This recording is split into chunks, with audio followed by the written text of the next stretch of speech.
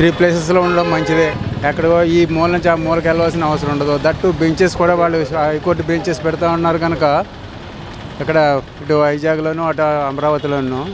Okay very nice public కన్వీనియన్స్కి ఉపయోగపడుతుంది కదా. రైతులకి ఏముంది? వాళ్ళ భూములు ఎవడో ఎఫెక్ట్ అయిన వాళ్ళు భూములు ఏ విధమైన డెవలప్మెంట్ లేకుండా వాళ్ళు వాళ్ళు తిరిగి ఇచ్చేయచ్చు. ఇంకా ఆల్రెడీ డెవలప్ అయిన ఉన్నాయనుకోండి వాళ్ళు కాంపన్సేషన్ పే చేయాలి వాళ్ళ రైతులకి. అందువల్ల ఇంతకుముందు ఏ విధంగా అయితే రైతులకు ఉపయోగం ఉంది ఇప్పుడు అదే ఉపయోగం కదా.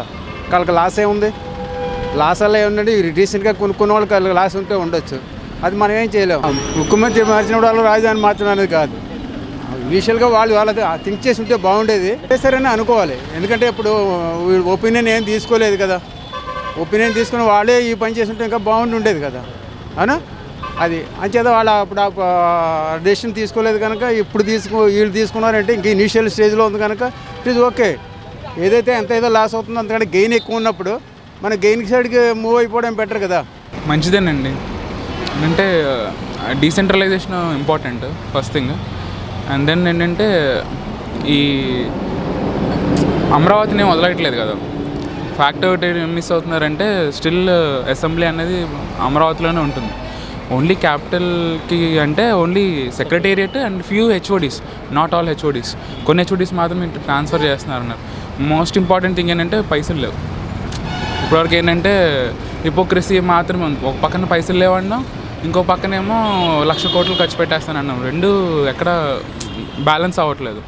డబ్బులు లేనప్పుడు ఏంటంటే అంటే ఇప్పుడు మొన్న కలెక్టర్ గారు ఇచ్చిన స్టేట్మెంట్ ఏంటంటే ఫోర్ థౌసండ్ క్రోర్స్ ఉంటే సరిపోతుంది to develop administrative capital here in Vizag అని అన్నారు. దట్ ఈస్ వెరీ ట్రూ కదా. Four thousand crores is easy వెరాజ్ అక్కడ ఫైవ్ థౌసండ్ క్రోర్స్ అలాట్ చేసుకుని ఎన్ని సంవత్సరాలు అవుతుంది? ఒక ఎగ్జాంపుల్ చెప్తానండి. నయా రాయ్పూర్. నయా రాయ్పూర్కి ఇప్పుడు ఇంకా కన్స్ట్రక్షన్లోనే ఉంది. నయా రాయ్పూర్లో ఇప్పుడు ఇంకా సివేజ్ ట్రీట్మెంట్ ప్లాంట్స్ కడుతూనే ఉన్నారు.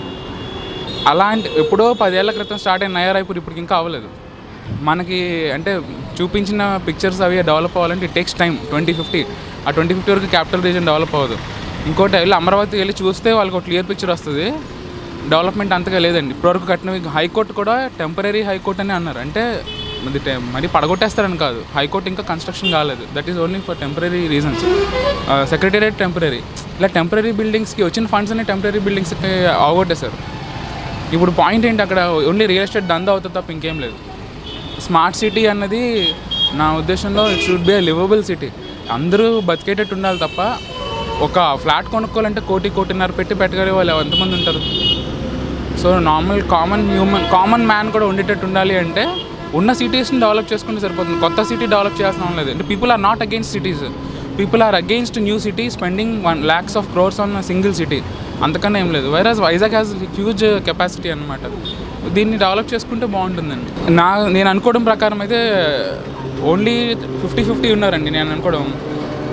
ఆయన ఏమన్నారంటే జగన్ ఏమన్నాడు కొంతమందికి ఎవరికైతే భూములు వెనక్కి కావాలో వారు వెనక్కి ఇచ్చేస్తాను. ఇవ్వలేని వాళ్ళకి ఏం చేయాలన్నది ఆలోచిస్తాను ఇంకా అంటే that let him take a decision ఒకసారి డెసిషన్ తీసుకున్న తర్వాత మనం కామెంట్ చేయగలం. ఏం మారుస్తున్నారన్న అన్నీ? ఒకసారి సామాన్యుడు పెద్దలు ఎక్కడ తిరగలరు రాజధాని మార్చింది సుఖమేంటి ఇప్పుడు నీకు ఏదో ఒక అవసరం ఉంటుంది ఇప్పుడు నాకు అవసరం ఉంటుంది నేను వెళ్తాను బయటికి. రాజధాని అంటే నేను అమరావతి వెళ్ళాలా? అక్కడికి వెళ్ళాలి? కర్నూలు వెళ్ళాలా? లేకపోతే విశాఖపట్నం రావాలా? ఛార్జీలు ఎంత అవుతాయి? సామాన్యుడికి ఎక్కడ అవుతాయి వర్క్? వర్క్ అవ్వదు కదా. ఏదో అన్నీ ఒకసారి ఉంటే ఏదో కార్యక్రమం చేసుకోవడానికి పని మీద వెళ్ళా అలా అన్నీ ఒకసారి చూసుకోవడానికి రావడానికి అవుద్ది. మరి మామూలుగా ఎవరు పడితే అక్కడ అక్కడికి వెళ్ళి అక్కడి నుండి మళ్ళీ ఇక్కడికి వచ్చి ఇక్కడి నుండి అక్కడికి వెళ్తే మరి మాకు పనులు పనులు పనులకేం వెళ్తాము మాకు ఎక్కడ వస్తుంది తినడానికి. మంచిదే కదా వైజాగ్ వస్తే క్యాపిటల్ బాగా ఉంటుంది కదా డెవలప్ కూడా అవుతుంది విశాఖపట్నం అంతా. అమరావతి ఏముంది అక్కడ ఉన్న రైతులందరూ ఇబ్బంది పడకుండా వాళ్ళకి ఇవ్వాల్సింది అన్నీ ఇచ్చి ఇక్కడ చేస్తేనే బాగుంటుంది కదా. పంటలు పండేది దాన్ని చెడగొట్టకుండా ఇక్కడ చేసుకుంటే బాగుంటుందని వైజాగ్ వాళ్ళ అందరి అభిప్రాయం నాది కూడా అభిప్రాయం. ఉంటుంది కదా. ఉత్తరాంధ్ర ఇప్పుడు డెబ్బై సంవత్సరాల నుంచి ఉండిపోయారు అలాగే. వాళ్ళందరూ డెవలప్ అవుతారు కదా. విశాఖపట్నం విజయనగరం శ్రీకాకుళం మూడు జిల్లాలు కవర్ అవుతుంది కదా. ఆల్రెడీ అటుపక్క ఉండిదే డెవలప్.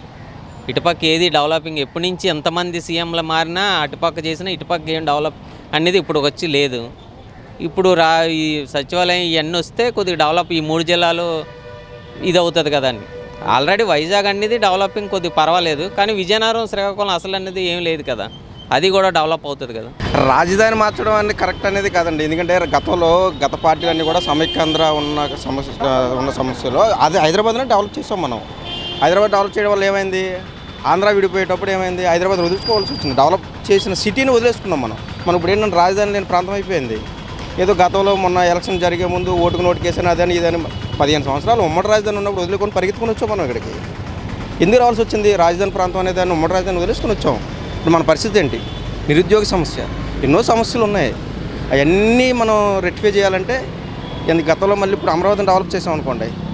రేపొద్దున మళ్ళీ రాయలసీమ వాళ్ళు ప్రాబ్లం అవుతుంది. ఏ పార్టీ అయినా సరే గతంలో మన అసెంబ్లీలో మనము తీర్మానం చేసేటప్పుడు కూడా ప్రతిపక్ష పార్టీలు అనేవి జగన్మోహన్ రెడ్డిని కూడా ఒక విధంగా చెప్పాలి. ఎందుకంటే ఆ రోజు సమర్థించాడు ఆయన. అది ముప్పై మూడు వేల ఎకరాల మనం హైదరాబాద్ లాంటి సిటీ మెట్రో సిటీని డెవలప్ చేయాలని చెప్పి ఆయన కూడా అన్నాడు ఆయన. దానిని ఖండించి ఆ రోజు ఖండించి ఉండుంటే ఈ పరిస్థితి వచ్చేది కాదు. ఆయన జస్ట్ అది చేసే దానివల్ల ఆ రోజు ఒపీనియన్ మూడు రా మూడు రాజధానులు పెట్టుకొని మనం సిటీని డెవలప్ చేసుకుందాం. గతంలో ఉన్నటువంటి ప్రాబ్లం మనం రాకూడదు అనుకునే స్థాయిలో మనం మాట్లాడి ఆ రోజు మాట్లాడి ఉంటే ఆ రోజు నేను మాట్లాడడానికి ఖండించడానికి అవకాశం ఉండేది. దానివల్ల అమరావతి ప్రాంత రైతులు కూడా కానీ కానీ ప్రతిపక్ష పార్టీలు అవని కానీ అభ్యంతరాలు చేస్తున్నారు. ఆ రోజు ఒప్పుకున్నావు ఈ రోజు ఎందుకు జనసేన పార్టీ నాయకుడు కూడా పవన్ కళ్యాణ్ గారు కూడా అదే మాట్లాడుతున్నారు. దాని మీద ఏంటంటే మూడు ప్రాంతాల్లో డెవలప్ చేయాలి మేము కాదంటలేదు. అభివృద్ధి ఎక్కడున్నా అభివృద్ధి చేయాలి. పవన్ కళ్యాణ్ గారు అవని చంద్రబాబు నాయుడు గారు అవని ఎవరైనా సరే ముగ్గురు నాయకులు ఎవరైనా ఎవరంటే కానీ మూడు ప్రాంతాలు అభివృద్ధి చెందాలి. హైకోర్టు ఎక్కడ పెడతారా రాజధాని ఎక్కడ పెడతారా అని రకరకాల అనుమానాలు ఉన్నాయి. వాళ్ళు కూడా ముప్పై మూడు ఎకరాలు సేకరించి ఐదు సంవత్సరాలు పాలి- పరి- పరిపాలించిన చంద్రబాబు నాయుడు గారు కూడా వాళ్ళకి కరెక్ట్ అనేటువంటి విధి విధానాలు ఇవ్వాల. గతంలో తొంభై ఆరు వేల కోట్ల లక్ష కోట్లు తప్పుతో మనం వచ్చాము. ఇప్పుడు రెండు లక్షల తొంభై ఆరు కోట్ల ఎంత తప్పు మన మీద పడి ఉంది. ఈ రెండు లక్షల కోట్లు ఏం చేశారు ఈయన? మొత్తం కూడా అమరావతిలో పెట్టింది ఐదు వేల ఆరు వందల కోట్లు ఎంతో అంటున్నారు ఆయన. మిగతా డబ్బంతా ఏమైపోయింది? పసుపు కొంకం కింద పోయిందా? ఎక్కడికి పోయింది ఇదంతా? దేనికి పోయింది? అన్ని సమస్యలు సమస్యలాగే ఉన్నాయి. దేనికి క్లారిటీ ఇవ్వలేదు ఆయన. నాకు పద్నాలుగు సంవత్సరాల ఇండస్ట్రీ అంటాడు ఫార్టీ సంవత్సరాలు ఫార్టీ ఇయర్స్ ఇండస్ట్రీ అంటాడు ఆయన. కానీ దేనికి లేదు. నేను అన్ని అన్ని అన్ని అందరికీ నేను న్యాయం చేస్తానంటాడు. జగన్మోహన్ రెడ్డి అని ఆయన అందరికీ న్యాయం చేస్తాను అంటున్నాడు. చూద్దాం ఏముంది? ఐదు సంవత్సరాలు చేసేదే ఉంది. ఐదు సంవత్సరాలు ఏం కాకుండా గడిచిపోయినాయి. ఐదు సంవత్సరాలు ఏం చేశాడు ఆయన? పరి ఏదో చిన్న బిల్డింగ్ కట్టాడు సచివాలయం కట్టాడు అక్కడ. కనీసం అక్కడికి వెళ్ళి కనీసం టూరిస్ట్గా వెళ్ళి చూద్దామన్నా కూడా టీ తాగడానికి ఆ టీ దొరకట్లేదట. పబ్లిక్ చాలామంది అంటున్నారు. అలాంటి పరిస్థితి ఉంది అక్కడ. ఇక్కడ అనుకోండి ప్రజెంట్ చేసుకోవడానికి అన్ని విధాలు బాగుంది. మూడు ఆల్రెడీ విజయనగర శ్రీకాకుళం అనేది వెనకబడి ప్రాంతం. బ్లూ చాలా ఇబ్బందులు పడుతున్నారు. ఇక్కడ ఉంటే బాగుంటుంది. అలా కాకపోయినా ఏమైనా అమరావతి అనేది నిర్ణయించాం కాబట్టి అక్కడ కొద్దిగా ఏం చేస్తారు ఏదో అంటున్నారు కదా వ్యవసాయ పరిజ్ఞాన కేంద్రం ఏదో అంటున్నారు కదా అది చేస్తారా ఏం చేస్తారా అనేది కానీ ఎందుకంటే అక్కడ ధర్నాలు చేస్తున్నారు కాబట్టి దాన్ని ఇక్కడితో ఆపి దాని సమస్యను పరిష్కరించాలని నేను కోరుకుంటున్నాను ఎందుకంటే అన్ని ప్రాంతాలు జగన్మోహన్ రెడ్డి అనే అతన్ని ఒక ఇదిగా చూడాలంటే అందరికీ సమన్యాయం చేయాలి. క్యాస్ట్ అనేది పక్కన పెట్టాలండి. చౌదరీసా రెడ్డిస్ ఏదని కాదు. కుల ప్రాంతాలను తీసుకొస్తున్నారు. అవన్నీ పక్కన పెట్టి జగన్మోహన్ రెడ్డి అనేవారు నాకు కుల కుల కులాలు లేవు అన్ని మతాలు లేవు అందరికీ నేను న్యాయం చేస్తానంటున్నారు కాబట్టి న్యాయం చేయాలనుకుంటున్నాను.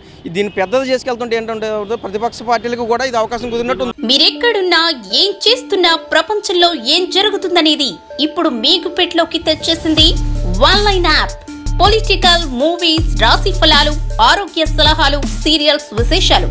ఇలా ఒకటేమిటి? బోలెడన్ని విశేషాలను మినిట్ టు మినిట్ మీకు అందిస్తుంది one line app. So late ఎందుకు? డిస్క్రిప్షన్లో ఉన్న లింక్ ద్వారా వన్ లైన్ యాప్ డౌన్లోడ్ చేసుకోండి. One line it's for every